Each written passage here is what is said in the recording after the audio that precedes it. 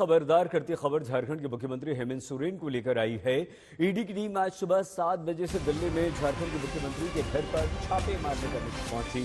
तो वहाँ झारखंड के मुख्यमंत्री हेमंत सोरेन नहीं मिले, जबकि दावा है कि देर रात तक इसी घर में हेमंत सोरेन थे।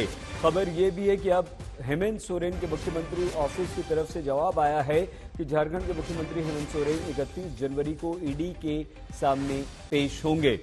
इससे पहले आज क्या हुआ, ये देखिए।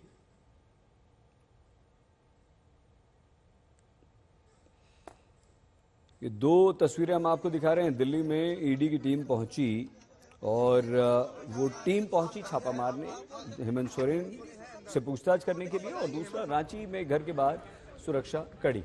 आइए हम आपको एक रिपोर्ट दिखाते हैं।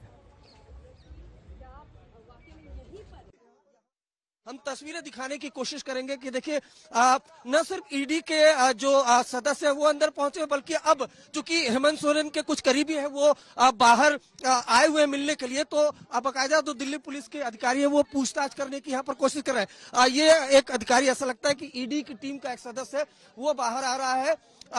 जानकारी लेकर दिल्ली पुलिस की टीम के। लेकिन कई, एक नहीं, बल्कि कई ऐसे लोग हैं जो अंदर पहुँचे हुए अंदर पहुँचे हुए लगातार पूछताछ की जा रही है। और ये ऐसा लगता है कि ईडी का एक सदस्य है जो अंदर जा रहा है।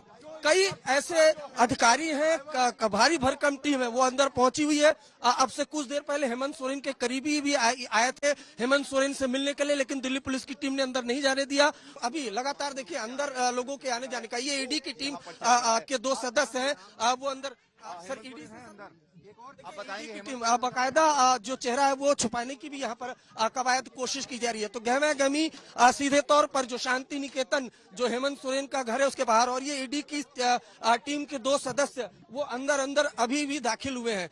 धीरे धीरे करके जो और टीमें हैं जो हमें जानकारी मिली है कि सबसे पहले ईडी की टीम ने लोकल पुलिस से असिस्टेंट मांगी उसके बाद दिल्ली पुलिस की एक टीम के साथ ईडी के जो तमाम अधिकारी हैं जो तमाम सदस्यगण हैं यहाँ से ये अंदर से हलचल, घर के अंदर लगातार बढ़ती हुई दिखाई दे रही है।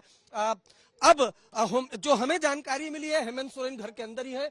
अभी पूरी तरह से क्लियरिटी नहीं है, क्योंकि हेमंत सोरेन का जो एक ड्राइवर है, वो भी घर के अंदर गया हुआ और ये देखिए, ईडी के जो तमाम अधिकारी हैं, वो हलचल लगातार बढ़ रही है। और इस वजह से चूँकि कानून व्यवस्था की स्थिति यहाँ पे खराब न हो, इस वजह से भारी भरकम दिल्ली पुलिस की टीम यहाँ पर मौजूद है। और खुद जो ईडी के अधिकारी हैं, उन्होंने ये असिस्टेंट जो लोकल पुलिस है उससे मांगा हुआ है।